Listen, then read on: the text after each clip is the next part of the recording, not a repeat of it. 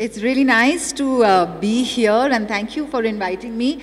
Um, you know, it's always uh, really interesting for me to see the sort of new ways in which schools are emerging and uh, evolving. So I teach myself as well. Um, I've, I mean, I've taught at uh, university, but I've been in the last six years, I teach the film program at the IB uh, DP level. So I'm kind of going into a school regularly for half my week, my working week. So I kind of, um, yeah, I'm a little bit invested in this whole space of how we, what we open up for our, how we open up the world for our children. Um, yeah. So would you, you like me to talk about the film a little bit and sort of...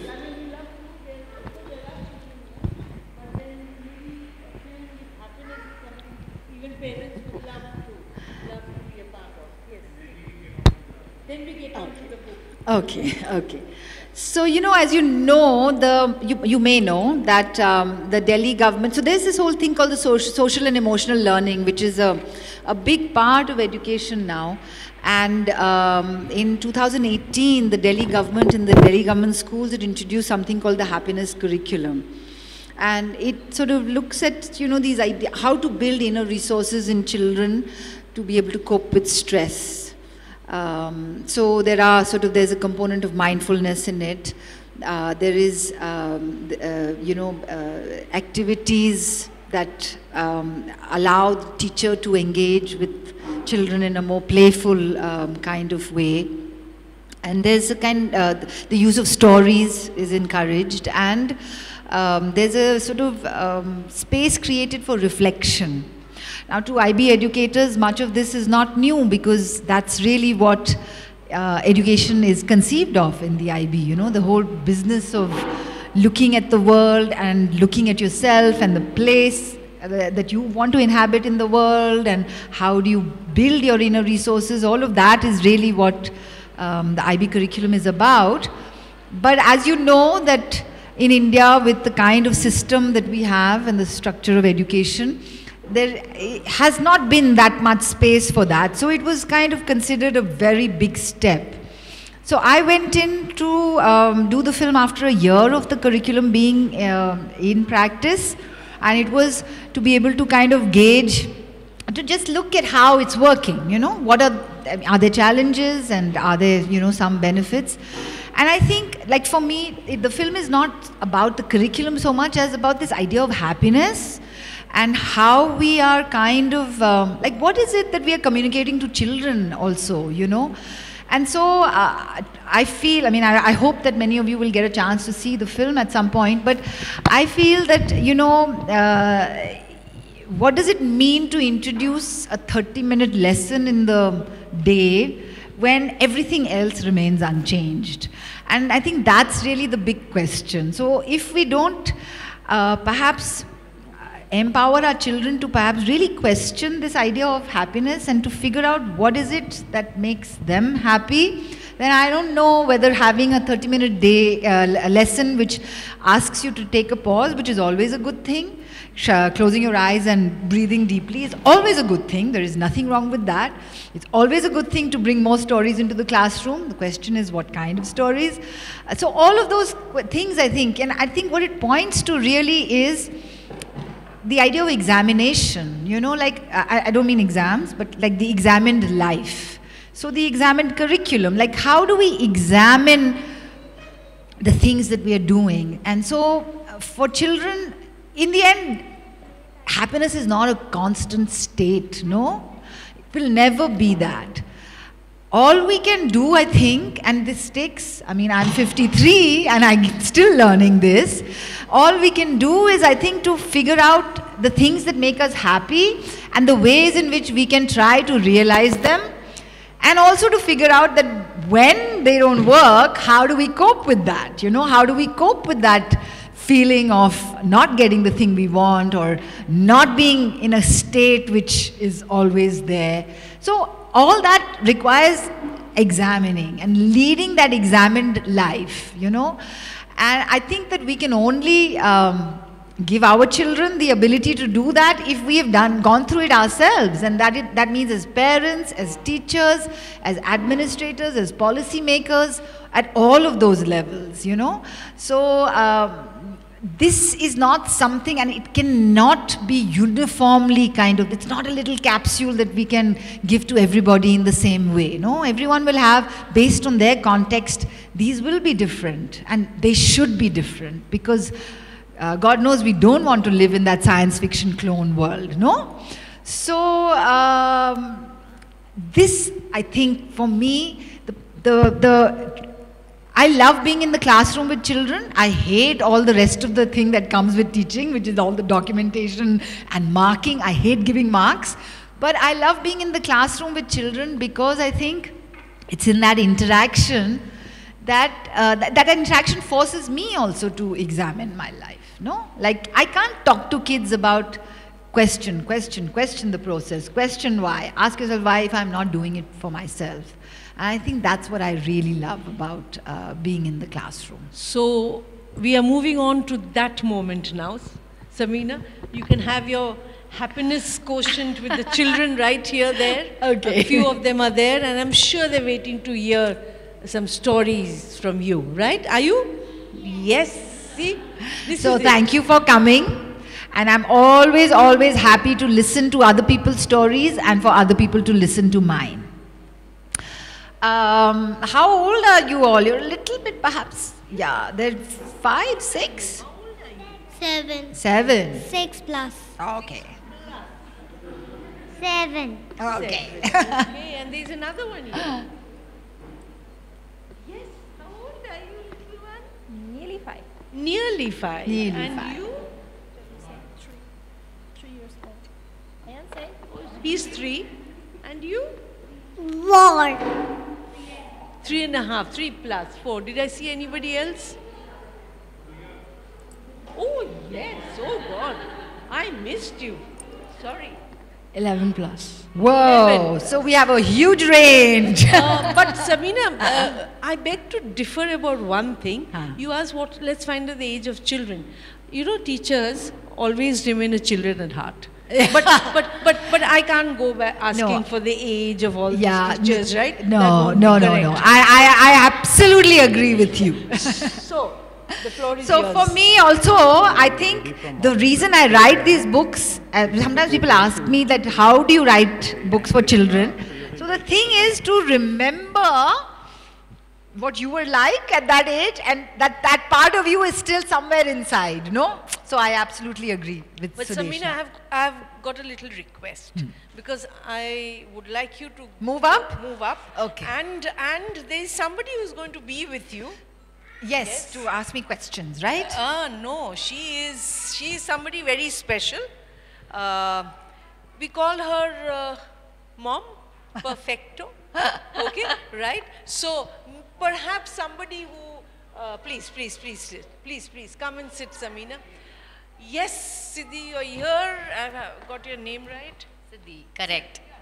Sidhi. So Sidhi is now going to get into a little conversation. I think before that, Samina, a bit of reading, and then would we can love have to the do that. conversation because these children will definitely look forward to a bit of story time, and then Sidhi will take over, right? So I'm going to talk to you about this book, which is called Nida Finds a Way.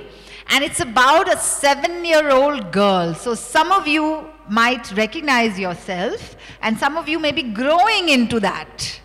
So Nida is this girl who's very curious about the world.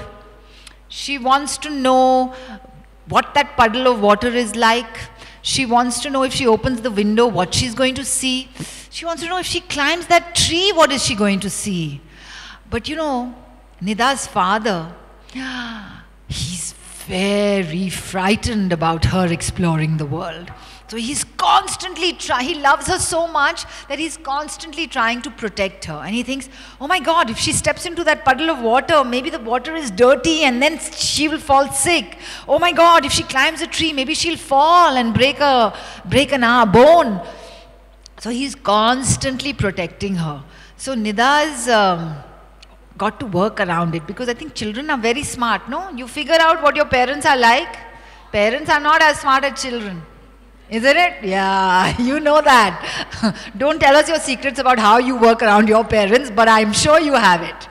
So I'll read you a small bit. Sidhi, shall I read a little bit from the Please, book? please. So you know what Nida is like, and maybe some of you will recognize yourself in her. So what happens is, so like I told you, Abba is the one who's all the time saying, Nida, no, you can't do this. Nida, no, you can't do that, right? Now the thing that Nida wants to do is in this first opening chapter, okay? And it's called The Bicycle Quest. I want to ride a bicycle, Nida sang out. Her small hand, quite big for a seven year old, she thought, was folded into Abba's large one as they walked together through the streets of Abul Fazl enclave. The large hand quivered and tried a strange move, as if it wanted to hold on, uh, hold not just the small hand, but also the wrist and maybe the entire arm. He wants to just grab her and keep her like this. And then this is what he says No, no, no! Abba stopped walking. Nida looked up.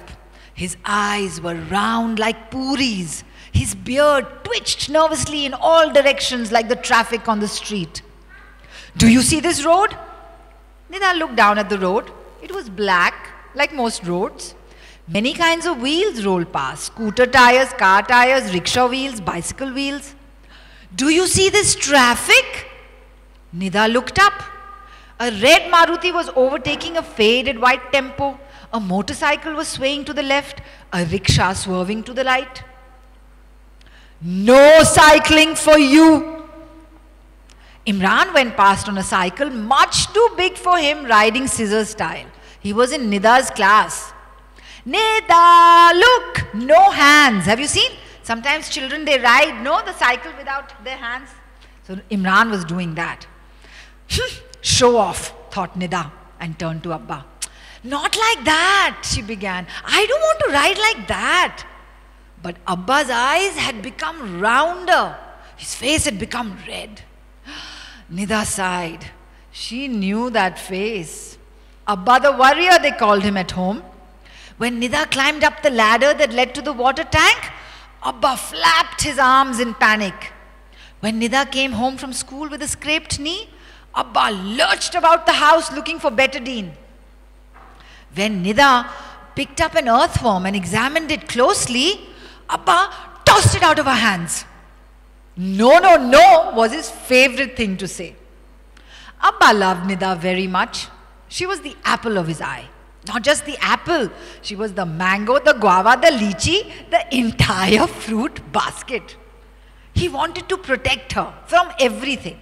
He made her sleep under mosquito netting because you can get dengue or chikungunya. He soaked fruits in potassium permanganate water because you can get diarrhea. He even bought fancy sunscreen lotion for her because you can get sunburned. Amma said he worried too much. Abba's beard quivered as he gave a speech on being ready for the worst. But Amma just giggled and continued to embroider the batwas for her next order. Dadi said she'd never seen her father behave like this. Abba's arms flapped as he explained what modern fathers were like. But Dadi just sighed and continued to stir the dal. Sitwat Khala, who lived next door, said she wished Fahim Khalu did half as much for his daughter. Abba's face turned red as he mumbled something about daughters being treasures. But Sitwat Khala was already convinced and Abba rushed away in embarrassment. Nida loved Abba too. She loved walking with him, holding on to his hand. She loved it when he read her a story, stroking her hair to help her fall asleep. She loved it when he played Ludo with her and lost every time. Does your father do that? Yes. but she also loved poking her head around corners, sticking her hands into openings, and putting her feet into puddles. There was so much to do in the world, she thought. She'd never be able to do it all if she followed Abba's instructions and sat in one place reading a book. And now that she was seven, she thought it was time to ride a cycle. She needed to make a plan. I'll stop there. so, do some of you recognize yourself in Nida? Yeah? You want to do something and your parents are saying, no, no, no, you can't do that. Yeah? Yeah. They already love your book. Okay, so hello everyone, and uh, it's a lovely and warm morning, and we have gathered here today at the Vedanya School, Gurugram, for the Children's Lit Fest. Let me introduce myself. I'm Sidhi Kapoor. I'm a journalist, and I uh, am the founder of a parenting platform called Mom Imperfecto, because I feel that all moms are imperfect and perfect in their own ways. And we have with us a very special person, Samina Mishra. She needs no introduction. You guys love her already and the book. she is a multi-talented person, a documentary filmmaker, and she runs the Magic Key Center for Arts and Children. And she is in childhood, and she is an excellent author. Thank you so much for joining us today, Samina. Thank you. Thank you. And we have lots of questions from the warrior parents. so, uh, shall we start? Yes. So, uh, Samina, when I, while I was reading your book, you know, it reminded me of the helicopter way of parenting, and you know how most of uh, parents are warrior in nature, and we are overprotective to an extent. So, um, what do you have to say about that? And you know, do you have any advice for the warrior parents? So, first of all, I want to say that, you know, parenting has become a thing when it never was, no? And that's a sign of the world changing and uh, the world that we inhabit now. And part of me, I'm also a parent, so part of me, I understand where that the worry comes from because you think about it, in the old days, even even when I was a child, you know, uh, by the time I was 11, I remember walking. At least it was a good two kilometers from my house to the market, and independently, yeah. But we don't let our kids do that now, and there's a reason also for it. You know, like really think about it. Would we be okay with children stepping out and crossing Not, this road? not even going to the park, we worry about that too. We can't send them to the park alone. Yeah. So that that I think there's a combination of two things. One is the way that the world has changed, but also the way that we form communities now. You know, we don't know people around us in the way that we used to. Uh, and so that level of trust and having this, this idea of that, uh, you know, a child is actually raised by a village, we are losing that more and more, no? Because we don't know who is part of our village, right? And um, so I understand why parents would um, sort of worry. Uh, I'm not at all in favor of constantly watching over the child. Clearly, I'm not. And that's why this book is there. But I think that uh, we require both uh, changes at the individual level as parents, but we also require structural changes that can enable parents to make those individual changes. No? It's not enough to just place the burden on the individual parent. We have to think of how are we building our communities? What's the kind of architecture? Like you here in this school, you're thinking about architecture before even starting the school because that's important, isn't it?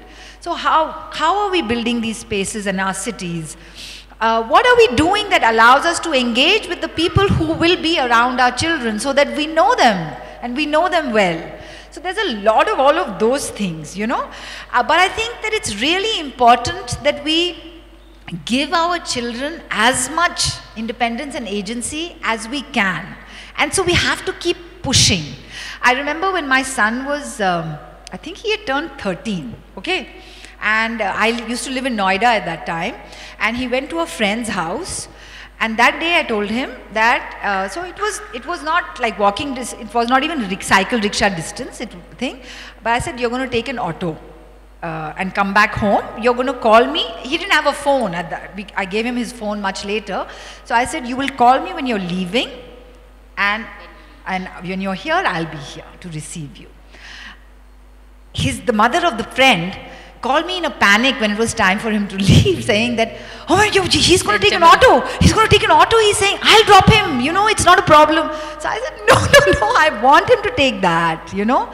Now it was something for us to like we had to think about it you know. But it is also because that that is the kind of culture that we're in. I've recently discovered this wonderful show on netflix.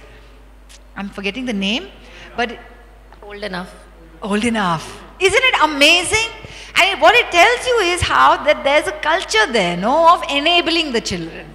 We don't have a culture of enabling the children. So I think that is also affecting their social skills, the kids' social skills, because we are being too overprotective and you know given them a very protective environment, and which is affecting their life skills also a so way. this idea of don't talk to strangers, of course we know why that's there and we know also that we have to like protect our kids and do that.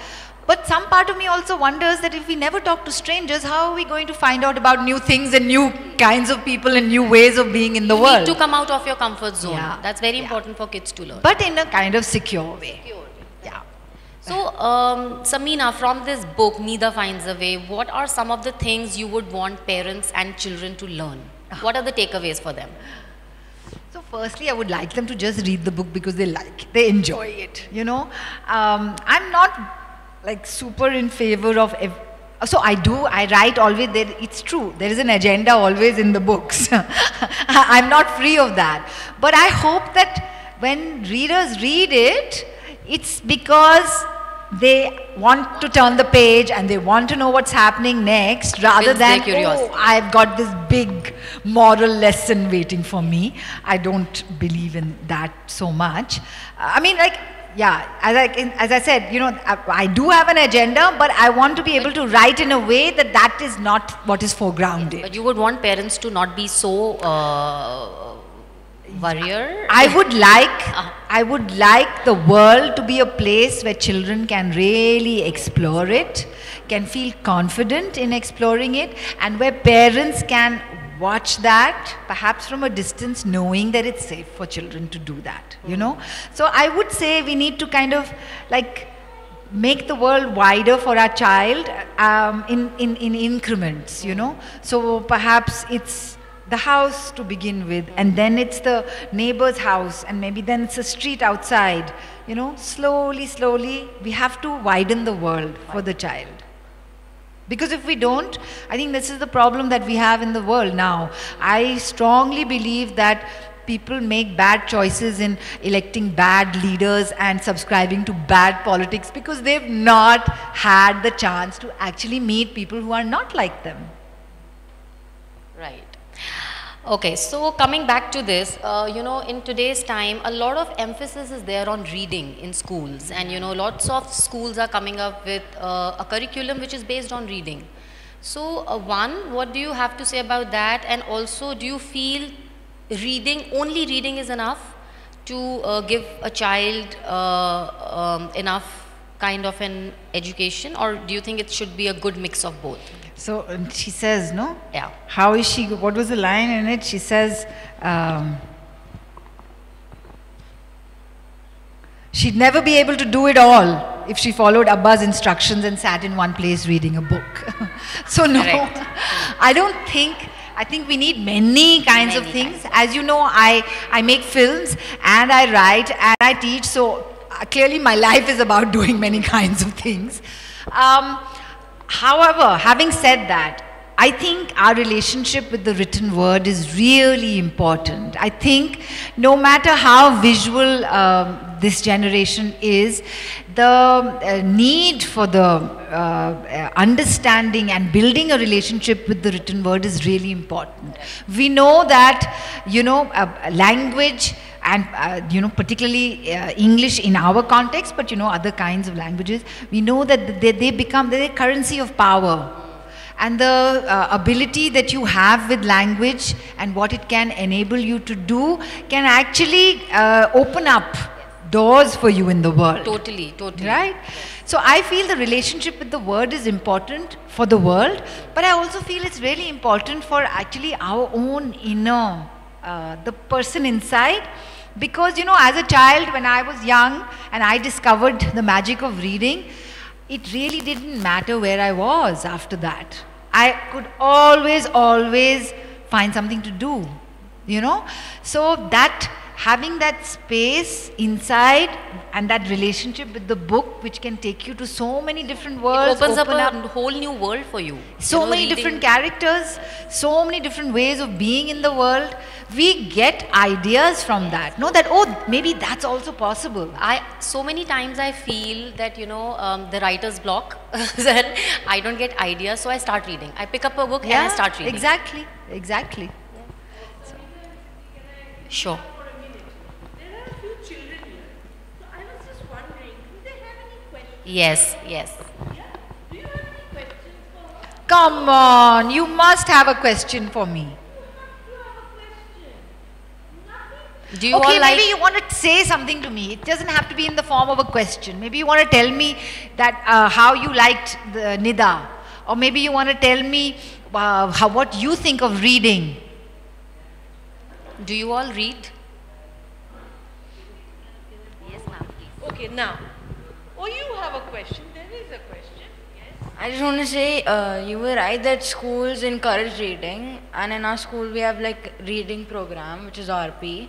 So each year they give us a different book, which they make us do different skills from, and they make us and they teach us new words from the book, And they, sorry? and they teach us new uh, words from the book. Yeah, yeah, yeah, yeah. Of course. I mean, that uh, reading opens that up and you're constantly, uh, your vocabulary grows. But what is it that you really love about reading? Is that what you love about it? Yeah, wanting to know. No? Oh, yeah, there's another question here. I love most of the horror stories. Wow. So that's the next genre. yeah, Samina? Horror stories. You've got you've got to read it. No, I can see two parents there, yeah. I like to put them in a, a spot, Spot. once in a while, being a teacher. Yes, ma'am. I'm sure you have some question for Samina. Yes? No, it's, uh, well, good morning, and um, it's lovely to hear uh, today morning. My two kids actually posed a question to Miss Samina. Ah. So, well, um, we, I as a parent, I'm a doctor, and I as a parent have uh, read books since they were, you know, since very early years. So, like we say that even when they are before toddler, we read them picture books and so on. And now my son has, uh, you know, has, he's a voracious reader, I would say. So he has completed books on Harry Potter series and mystery series and uh, my daughter is already into, uh, you know, Greetings from Somewhere and Famous 5 and Secret 7. So the 11 and 7. It also comes with, of course, the um, uh, habits at home. And uh, thankfully, Sri Ram School, uh, Ravali promotes reading to a big extent. I really like, I, I catch hold of bookseller, you know, the bestsellers. And one of my favorite reads recently was Becoming by Michelle Obama. And uh, yeah, all the philosophy, self-help books, uh, those genre like, um, uh, you know, uh, the, the fiction, uh, the, it's all passé now for me. I rather read books on parenting and attend these parenting sessions and book fests. so,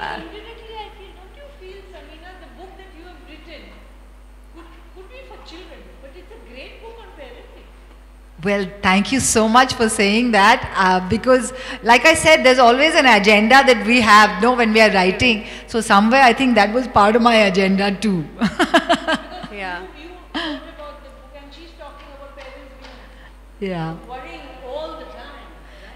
No, correct. I really like that idea, and yes, of course, being helicopter parents or rather helicopter mothers who try to, but in you know, within that realm, that this is one uh, aspect, this is the other, and within that, we allow freedom to children. Yeah. So, uh, you know, there are a lot of things that have changed over the years, over the decades. It used to take a village to raise a child, and I've correctly said we don't even know who is a part of our village. So we worry, we are uh, constantly thinking, we overthink rather. But things like this, when we interact with each other, we also know that you know most of the mothers are sailing in the same boat. So we somewhere kind of loosen up, somewhere kind of uh, try to find our common friends amongst Yeah. those mothers and you know those communities and all, and it really helps. So talking, reading definitely broadens our vision, and uh, yes, I think. I think if we are going Thank to you so much. if we're going to remain curious, then our children will be curious. And actually, curiosity is the only thing that can help us to build those communities, no? Because if we feel we already have the answer, then we will live a narrow life and an, and an unexamined life. Yeah.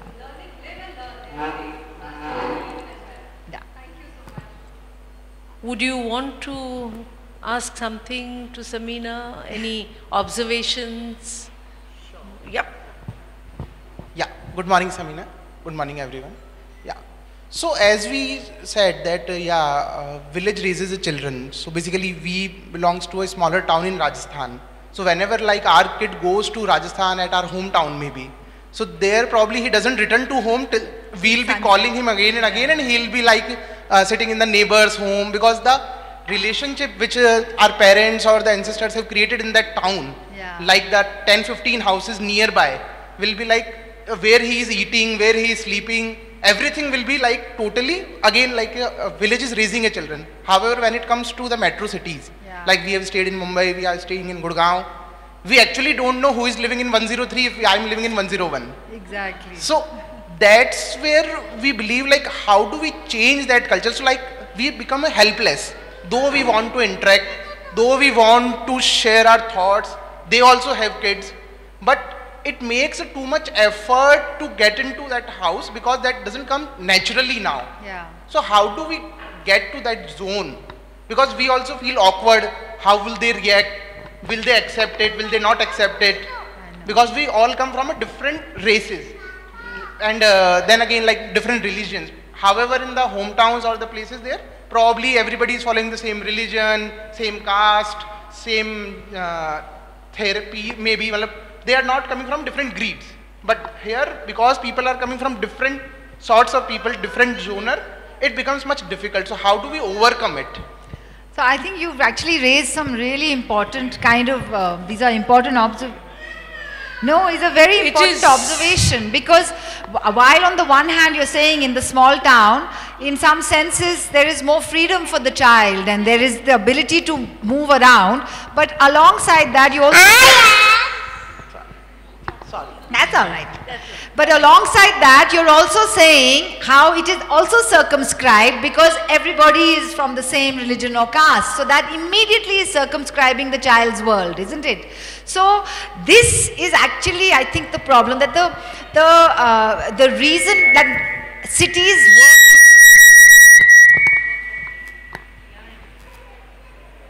the the advantages of cities is this that you know we can uh, leave behind some of those markers of our identity isn't it and that we can become like as everybody else who go, gets up in the morning goes to work comes back whatever but the disadvantage then of the city is that in that automated kind of existence we lose that apnapan right so this i think that First of all, I think recognizing this, that there may not necessarily be one ideal. That the ideal is not that we just go back to the small town because we know our villages are ridden with caste. And you know, there is there, if you're in the upper caste, then it's okay. But if you're not, then you have a terrible existence. No, there are other kinds of challenges. So maybe that's also not the ideal. So I think first of all, recognizing that every situation has certain things which work and certain things that we don't. If we first identify that, only then can we start thinking of the solutions. Now, what you pose is, of course, the big one which we all have struggled with and we will continuing to struggle. So, how do we make that first? Who is going to make that first move? 101 or 103? Who's going to ring the doorbell first? No, that's the question. And I think sometimes we have to also just take, be the courageous one and do it. And you know, it's, we don't have to always like the next door neighbor, no? It's okay. Sometimes we may not get on. They may not be people that we want to be friendly with. Then we try 104.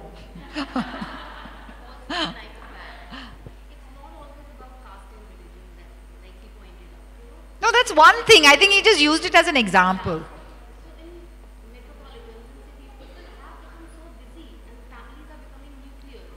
Yeah.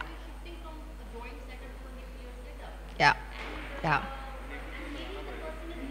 Yeah, so, but that's the thing that when every household is busy like this, then if we are able to build a community, we can offer support, you know. So, carpooling, for example. So, then eh, now five houses don't have to all get up at nine o'clock and get out on the road.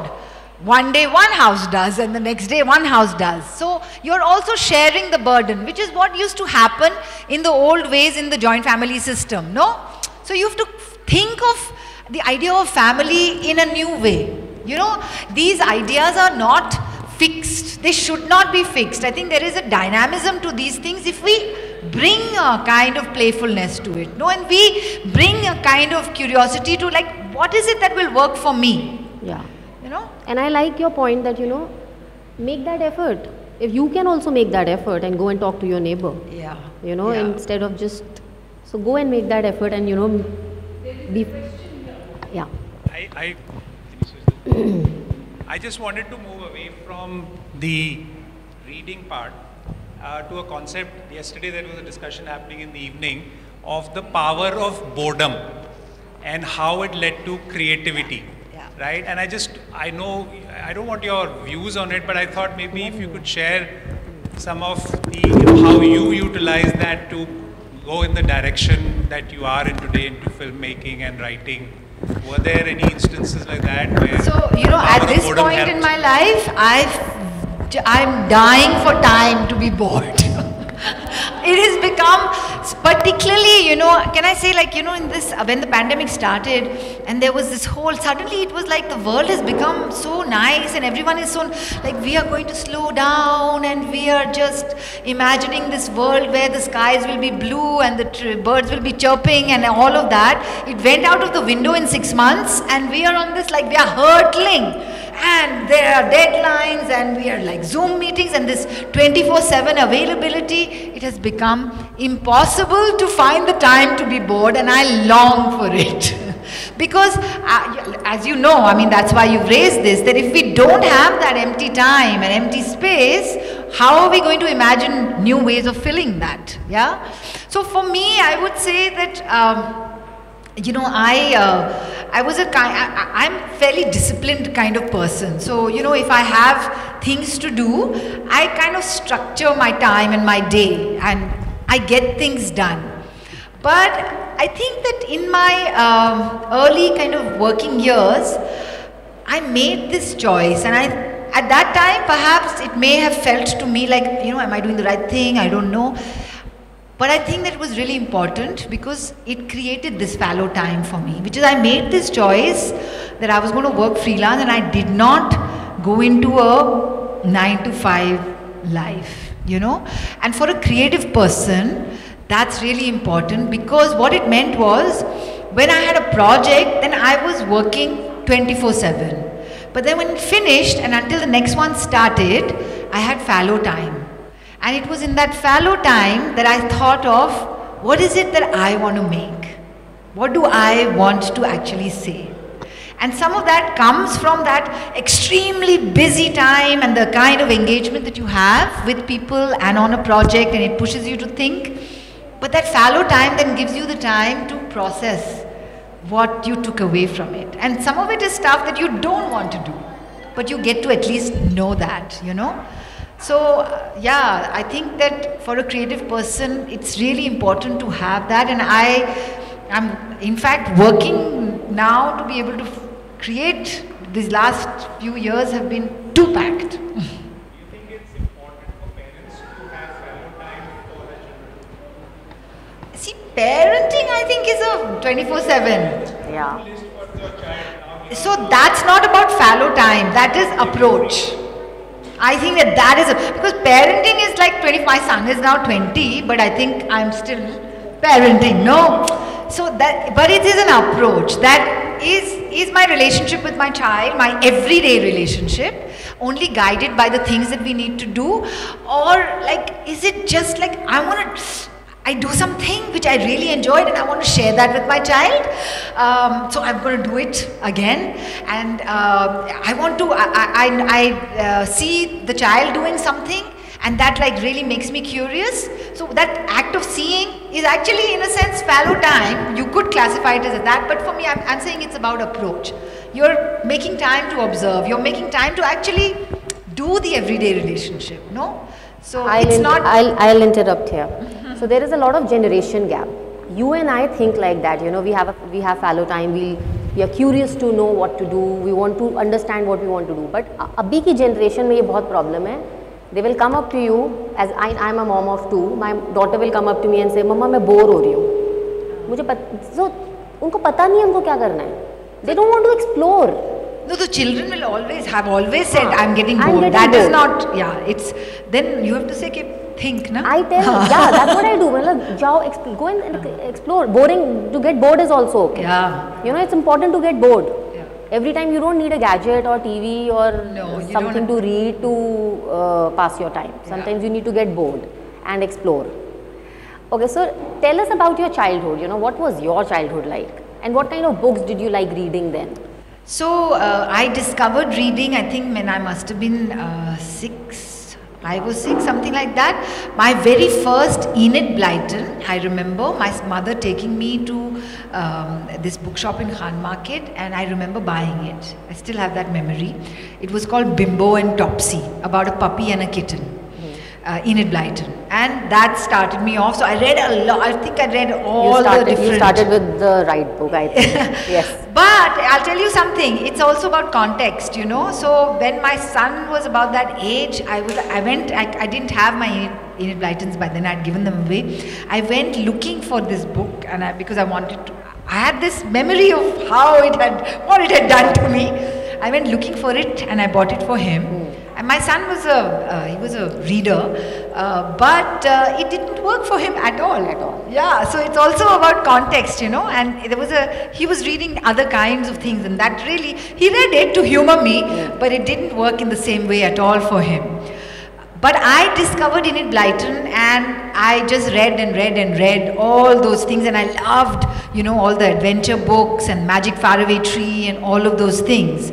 Now, of course, when I look back and I read all about colonization and, you know, uh, all the critiques on Blyton and all that, I see, I see the validity of that. But the thing is that I did experience it in some way and I think that that is also important. And it set me off on, and it didn't prevent me from not being able to recognize um, you know uh, stereotypical representation when i'm presented with that so i think that there's a place for many things uh, in a child's life growing And up you know, I, a lot of times, you know, parents come up with this question since I have a parenting community.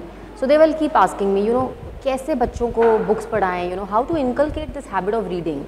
So I think one of the mothers also said, obviously by following the same habits and all. But there are couples where both the parents are working. So how to include a good reading time in a child's schedule every day? So एक तो I think कि वो schedule नहीं होना चाहिए. How can I mean it has to be something that the child wants to do. So yeah, I mean I think a big part of it is that if the child does see people around who are the thing is that they're not just reading but that there's pleasure in that. So reading I think this politics of pleasure is very important. You know that we have to understand that pleasure is a good thing and that it the children should it's not only about like doing what is the right thing but also about what is it that gives them pleasure. And for them to be able to uh, have the opportunity to explore many things that give them pleasure. So not to fetishize also reading. Children read in many ways no? So this is the old fashioned way of reading but children are also reading on gadgets. Children are also reading when they are out in the world in, in, uh, in other ways. So also recognizing that reading takes on different things. Having uh, said that about pleasure and you know what it does is allows chi- the child to kind of make the choice and you know you give children independence and agency. But I think there's also a place for uh, presenting children with options, you know, like in a sense guiding them, in a sense uh, giving them uh, exposure to things which maybe they may not. or maybe take them to Yeah. a bookstore and let them The explore the kind of the books they want to read. library, Yeah. those are important, Important, places.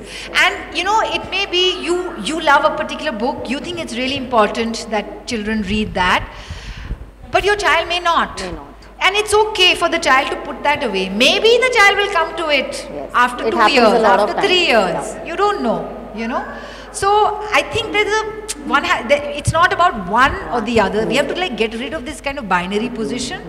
And uh, reading time, I think, is something should not happen. Right. They should just read when they feel like it. Yeah, I think uh, we will have to focus on the children Yes. and uh, the way they're moving about. I think they need to move about a bit and all our parents also need to move about a bit. But before that, Akshata, could you do the honors? Little thank you for Samina. Oh. Yes. Thank you so very much. And of course, I will not make the mistake and say perfecto, but imperfecto, mom. Here's to celebrating imperfections. Yes. Imperfections, Yes. yes. There's And, uh, perfection and imperfection. Absolutely.